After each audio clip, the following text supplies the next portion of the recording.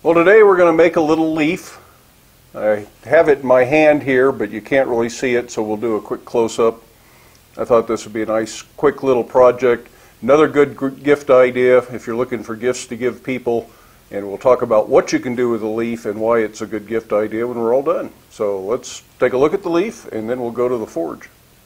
This is our little leaf that we're going to make today. It's really quite small and delicate.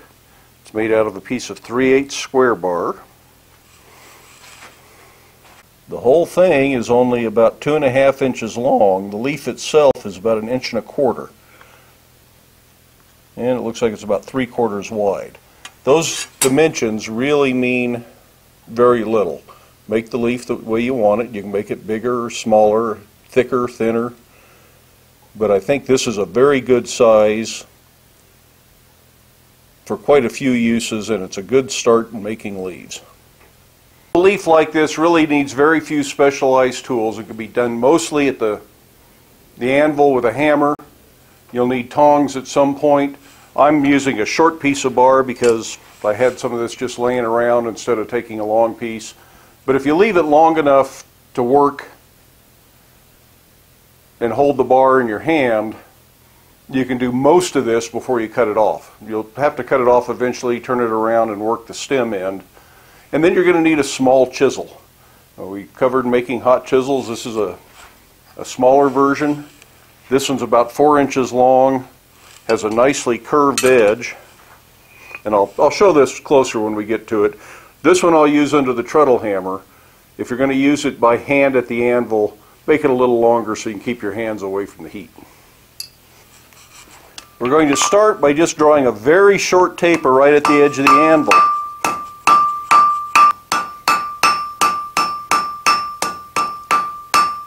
We really don't want this taper to be any more than about a half inch long.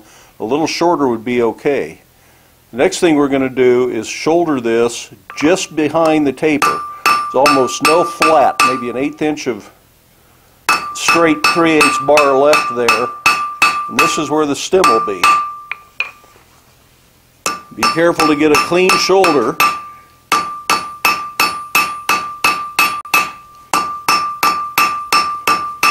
You want to take this down to probably about 3 16 square. This is also real easy to create a stress riser here if you're not careful. So don't work it too cold. You're going to have to go back to the fire quite regularly. You don't need to draw the full stem out at this point. You can take it out a little further if you want to, but I'd rather cut it off and turn it around to do that later. But I am going to start to round that up a little bit right up next to the leaf. So what we have then is this little short square point on what is starting to become our stem. And that's most of the, the leaf shape taken care of, except it's a square instead of a flat. So the next thing we're going to do is we're going to flatten it. And when we flatten this, we're going to stand it up on the diamond. So one at corner is standing up and two corners are horizontal. And those two horizontal corners give us nice crisp edges when we spread this out.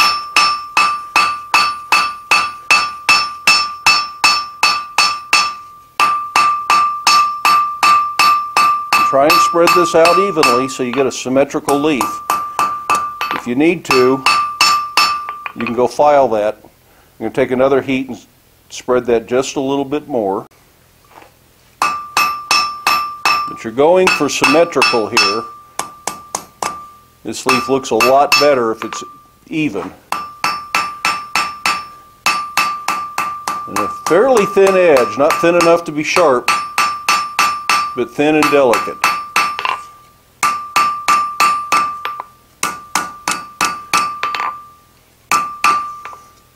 That's most of our leaf shape done. Now at this point, you can do the veining hot at the anvil if you want to. And really you can do it pretty much at this heat. But we can do this just like this if we want to, although it's can be hard to hold on to. And this little chisel is round in this direction so that it walks very easily and doesn't leave chop marks. So you walk it along this way as you get, run your veins. I think I'd rather do this under the treadle hammer. Since we just showed that treadle hammer video the other day, this is one of the jobs I think really pays off under the treadle hammer. So I'm going to let this cool till I can hold on to it with my bare hand.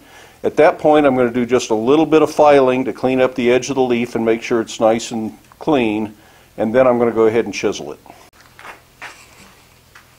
Really this needs very little filing. There's just a few little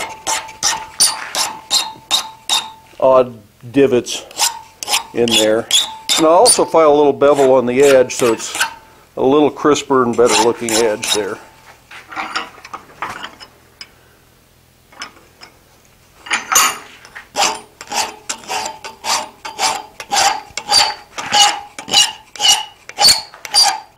Better job you do at the anvil, the less filing you're going to have to do.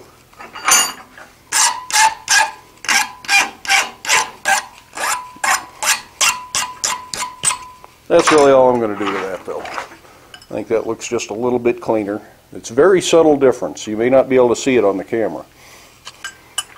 I'm just going to use this little chisel under the treadle hammer. And you don't have to hit very hard. This hammer will cut all the way through this pretty easily. In fact, it's very easy to split the tip on a leaf like this. This allows me to hold it very well, and I've got my stop in place so I can't squish my hand. Very light close to the tip, and maybe don't even run clear to the tip just to avoid splitting them. And a little cross veins in.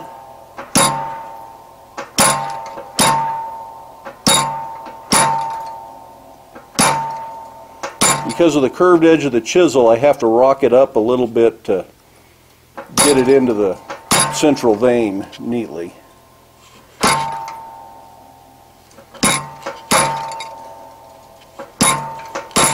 I'm not too worried about going all the way out to the edge. You can if you'd like.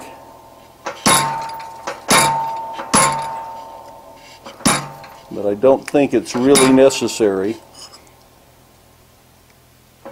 One blacksmith once described doing natural forms, whether they're animal forms or plant forms, as doing caricatures. You're not trying to make a specific lifelike leaf, you're trying to make something that people recognize as a leaf. So it doesn't have to be exactly the same as one out of nature unless that's what you're trying to do.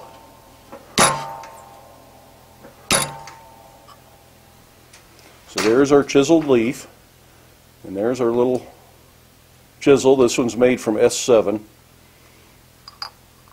So we're going to get that hot and do a little bit more shaping to it.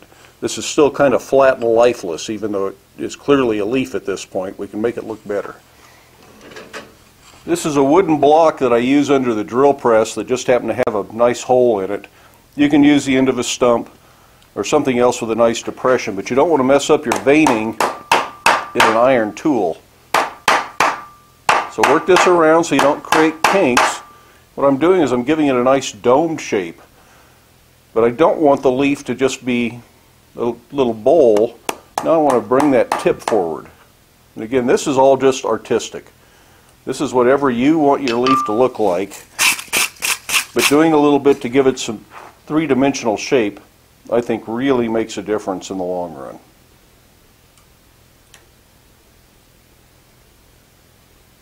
So I'm going to cut this off probably at about, oh, inch and a half. I'm not going to bother to measure it, just whatever looks about right.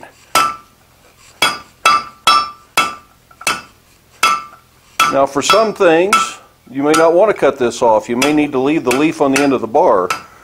There are lots of things you can do with a leaf besides just a standalone leaf. So think about that. This could be part of a poker element or part of a, fancy fork or spoon handle. All sorts of things you could do with it. So if you don't need to cut it off the bar, leave it on the bar. But for this, we're going to cut it off. And then we're going to draw that stem out. Be careful not to squeeze your leaf too hard as you draw this out. You'll flatten it out again. We just want to draw the stem out so it's a nice round stem that looks appropriate. Probably about 3 sixteenths or maybe a little bit under.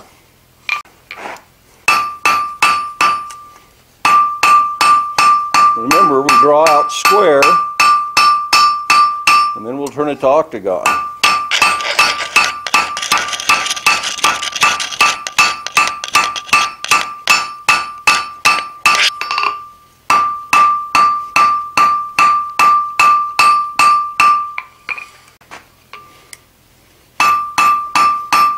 So about to 3 16 square.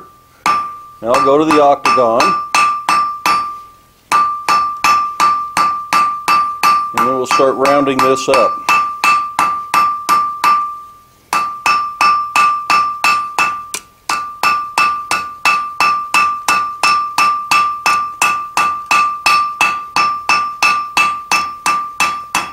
I think we use one more heat to get that nice and clean and round.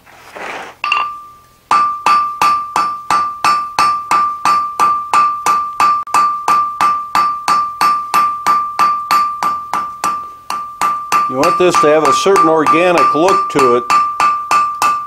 So you want to take all the the ridge lines from being square or octagon out. This isn't chamfering, it's definitely rounding, although the occasional flat spot isn't going to hurt anything.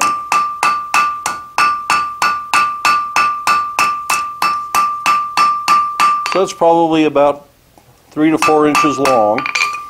Now we want to just give that a graceful bend. And exactly what you do here is purely up to what you feel like doing.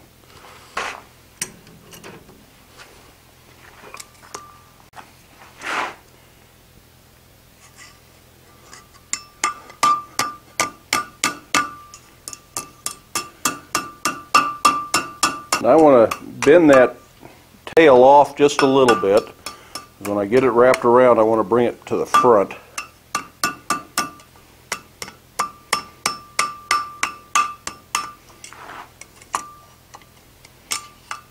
Just set it down across the front just very lightly there. And that's just to kind of seal it up so it doesn't fall off or whatever you put it on.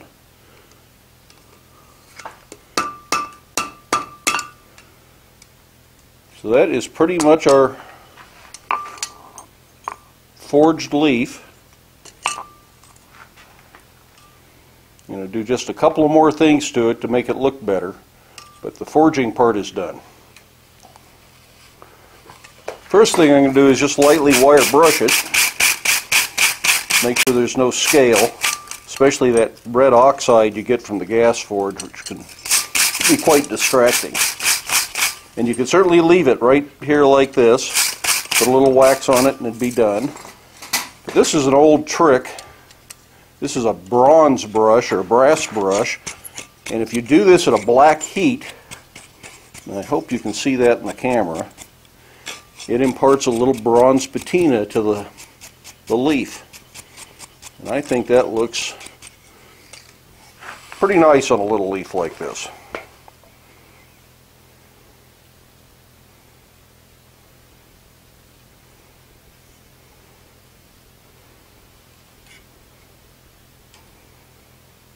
And then as it cools, we're going to wax it like I usually do.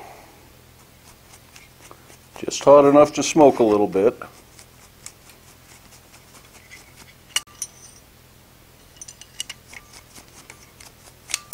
That's all there is to getting it waxed.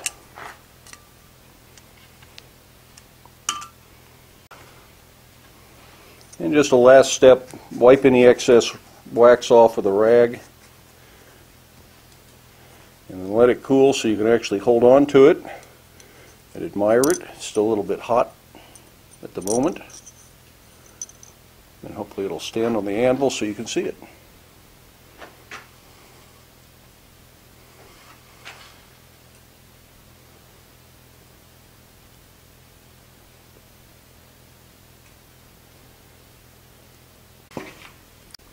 So, what do we do with a little leaf? Well, you can give it as a gift to wear around the neck with a, the chain or a, a nice decorative cord. Something besides an old piece of clothesline rope probably would be nice. You can use it as a key fob. Put this on your on your key ring and use it as a nice little key key ring keeper there or decorative thing on your key ring. It would make a nice little fob for a pole on your ceiling fan or your your light that has a pull cord on it. Probably a lot more things. Uh, it's a good good Christmas gift as a key ring. But the, I'd, I'd include the little split ring that your keys go on if you're going to give it for that purpose. Again, a neck, necklace, and it would look good just hanging on the tree as a simple little Christmas tree ornament. And I think you can think of some other things. A little leaf like this left on the bar, or a bigger leaf, you can use the same technique and make bigger leaves, longer leaves, wider leaves, lots of different options. Left on the bar, there's a lot of things we can do with it, and we will explore some of those options in the near future. We will also look at making raised veins in a leaf, but that will take a special die, and we'll make the die and then try a leaf with some raised veins to see what it looks like. So stay tuned. We'll get to that one of these days. Meantime, give it a thumbs up. Hit that subscribe button down below. Get out to the shop. Make something, whether it's a leaf, whether it's something else. Just go out and practice your skills. Stay safe. Wear your safety glasses. And I'll be here waiting for you.